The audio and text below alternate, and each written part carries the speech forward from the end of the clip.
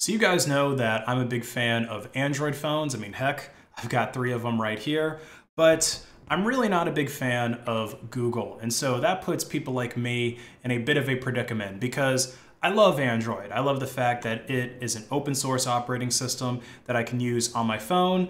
Um, pretty much the best option, well, besides Pine phones, but the thing with Pine phones is they're not really ready for normal people to use them yet, at least in my opinion.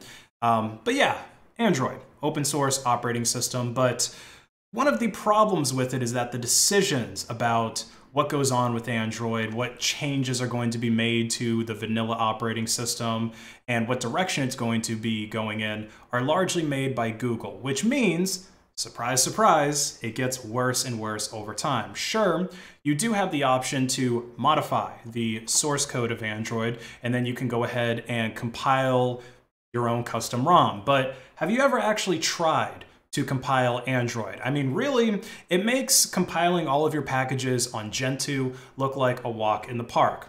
Well, Google is making yet another horrible decision to our operating system that we love so much. They are going to be banning all of the call recording apps from the Play Store.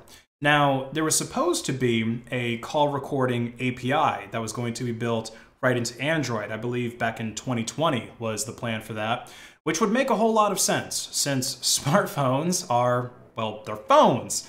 That's something that you would think you would be able to do by default. Anything that has to do with calling on a phone, whether it's a smartphone or not, should be built in, right? Well, no. So in the past on Android, if you wanted to record your calls, there were a bunch of different apps that you could use. Um, you had to install an additional third-party app, which is kind of insane, um, but pretty soon that's not even going to be an option, at least not from the Play Store uh, you can see that there's a whole bunch of these apps that you can still see here in the Play Store, although the functionality of many of them might not be that good. Uh, and some models of Android phones, they're not going to work with these apps at all. So here we can take a look at the developer program policy updates, uh, these policy changes that were recently announced, and you can see that they're all going to be going into effect on May 11th. And if we scroll down here to the accessibility API part, this is the part that is relevant to the call recording. Because this accessibility API, that was the mechanism that was being used before by all of these different apps that claim to do call recording. Um, and Google, they don't give us any real explanation as to why they are banning these apps, uh, other than what they say right here, which is that the accessibility API is not designed and cannot be requested for remote call audio recording. So that seems to be their official reasoning, just because it's not designed to do the thing, but why should that matter? I mean, Android is the tinkerer's phone, right? This is the kind of phone where you would expect many users, the power users, to do things that are a little bit out of the ordinary on it. I mean, hell, you can install SSH clients, you can install terminals onto your phone. Not everybody just installs Facebook and Snapchat and Candy Crush onto their smartphones. If you wanted to have a lockdown bullshit device, you probably would have gone and bought an iPhone.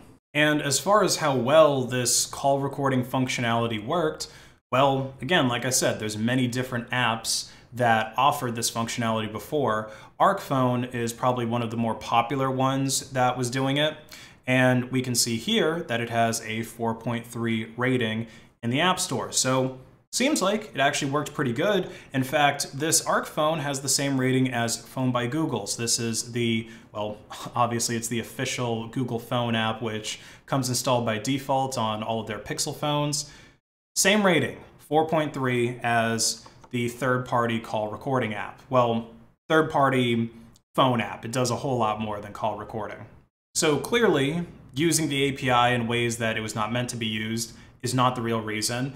I doubt that it's going to be for any kind of legal reason since the legality of call recording is highly dependent on where you live. So there's not going to be some kind of one size fits all solution and it seems like a huge overreaction to just completely ban the app for that legal reason because so many different businesses record calls and it's not a problem. Generally, at least here in the United States, the legality of recording phone calls just boils down to whether it's a single party consent state or a dual party consent state, which basically means does one person, is one person allowed to record, or does the other person who you're calling or who is calling you also have to consent to the recording? But generally, all you have to do to get around that is just say, hey, this call is being recorded, just like the businesses do.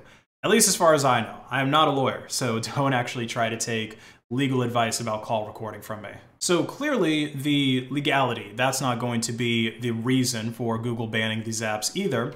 I think the real reason that they want to ban call recording is because Google wants to have a monopoly on call recording. So you remember that phone by Google app that I was telling you about earlier?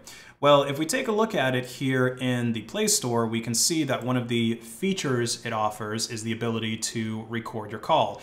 And here on Google's website, we also have instructions, very detailed instructions for how to use this app to record your phone calls. So it's not like Google is really prejudiced against phone call recording for any legitimate reason. It's just that their app does it and they want you to use their proprietary app in order to do call recording. They're basically trying to take a page out of Apple's playbook. They're saying, hey, if you want to do these different special things, then you have to use our apps. They're slowly locking down the Android operating system more and more but luckily, there is a way around this. Many Android phones, most notably the Google Pixel phones, they can have custom Android ROMs installed onto them. So remember when I was talking about how it is technically possible to make any changes you want to the Android operating system, and then you can go ahead and compile it yourself, but it's a massive pain in the ass to do and it takes a whole lot of time. Well, a bunch of other people have already taken up these endeavors and they have created their own custom ROMs like Calyx OS or Lineage OS, both of which have call recording built into their default call apps as far as I know. Now, if we actually start looking through the rest of the developer policy update, we can see that there's going to be some other changes to it that are probably going to end up removing a bunch of other apps. Um, so here we see some things about financial services.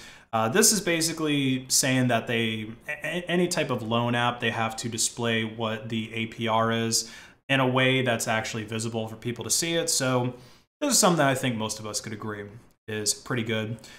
Then we have the hate speech section. Oh boy. So any apps that are going to promote violence or incite hatred against individuals or groups based on this dozen or so different um, identity categorizations, then that app is going to be banned. So that seems like something that Google probably already enforces on the App Store. I mean, I know I certainly haven't seen any apps that I would consider to be racist or sexist or anything like that. Uh, but then again, my barometer for measuring these types of hatred, I guess, is broken because there's all sorts of things that I don't think are offensive, but people in current day seem to think they are. Let's just hope that Google is not too sensitive in how they classify apps as promoting hate speech. Because, um, for example, there's like a dozen or so different Indian browsers that I really hope are not going to get banned by this. I don't know if they would or not. I mean, they say that they're Indian browsers, so I don't know if maybe Google's going to think that they're trying to be racist against Indians. Uh, I wanted to review a bunch of these to make a video, I guess kind of a joke video, because I don't know, it's hilarious that there's like over a dozen different browsers uh, that I guess are aimed for the people of one country. Although, if I had to guess, I bet you almost all of these are just a reskin of Chrome. I mean, this one in particular, like it literally just looks like the really old school Google Chrome icon just with, I guess, Indian flag colors instead. Uh, so don't ban the Indian browsers, Google. They're not racist, I promise. Also, apps that make misleading claims are going to be banned as well. Uh, now, it seems like, for the most part, what they're talking about are different kind of apps that, I guess, give medical advice. Like there's, I suppose this is a screenshot from an app that tells you that it's a cancer cure or something like that. And then we have this one over here, which is a breath analyzer to tell you whether you're drunk or not. Um, obviously, neither one of these apps are going to work. In fact, I would say if you're looking up on the Google Play Store a breath analyzer to tell you whether or not you're drunk, the answer is yes. You are very drunk. In fact, you were too drunk to drive probably two or three drinks ago. Seriously, kids, don't drink or drive. In fact, I think what would be pretty cool of Google to do, instead of just banning apps like this, is they should make it so that if you're trying to download a breathalyzer test from the Play Store, instead it just downloads the Uber app. Or if you already have it downloaded, it just opens up the Uber app and it's like, hey buddy, I think you should go ahead and order yourself a ride home. But you know, one of the other cool things about Android is that it supports side-loading apps. So if an app that is actually useful gets caught up in this massive ban wave that's coming on May the 11th, then you can just, well, before then, you can ask the developer to put the APK on their own personal website somewhere for you to download, or maybe they put it behind a paywall if it was a paid app before. Or they can just put the APK on F-Droid. Generally, it has to be open source to get listed there, though. Uh, or you could actually back up the APK yourself and you can have your own little repository of it. That way, if you ever have to reset your phone or if you buy a new phone, you could just, boom, go ahead and load the APK onto there. And you might be thinking, oh, why on earth would you want to tell people to install a bunch of nonsense apps that promote hate speech or that give out fake medical advice? Because it's your phone. Your phone is your phone. My phone is my phone all three of these phones are my phones. And if I want to install a racist breathalyzer app that also records my phone calls, then that's my business. I should be able to do with my phones whatever I want. So have fun using your phones freely and deciding for yourself what apps you want to use. Like and comment to hack the algorithm, follow me on Odysee, have a great rest of your day.